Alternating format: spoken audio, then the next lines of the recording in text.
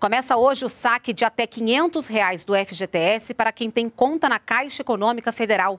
Para facilitar a retirada do dinheiro, as agências vão abrir duas horas mais cedo, de hoje até terça-feira, inclusive no sábado. Quem não tem conta na Caixa começa a receber a partir de 18 de outubro. A expectativa do governo é que, junto com a liberação do PIS, os saques vão animar o comércio e aquecer a economia.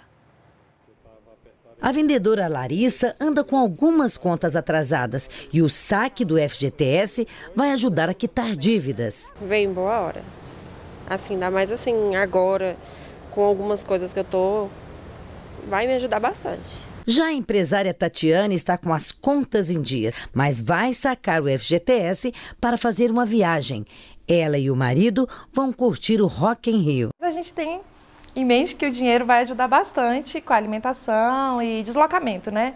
Os saques são de até 500 reais por pessoa, mas o trabalhador, por exemplo, que tiver três contas com até 500 reais em cada uma delas, poderá retirar 1.500 reais. A ideia é movimentar e aquecer a economia do país. A expectativa da Caixa Econômica Federal é que 95% dos brasileiros aproveitem a oportunidade impacto significativo, ao redor de meio por cento do PIB. De novo, a gente está sentindo uma demanda muito grande e a Caixa Econômica Federal está realizando esses pagamentos de uma maneira muito eficiente, em especial para os clientes Caixa, e mais de 90%, é, no caso do, FGT, do PIS, por exemplo, foram via aplicativo.